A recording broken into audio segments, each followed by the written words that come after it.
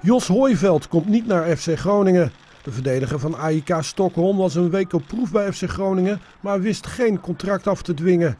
FC Groningen blijft daarom op zoek naar defensieve versterkingen.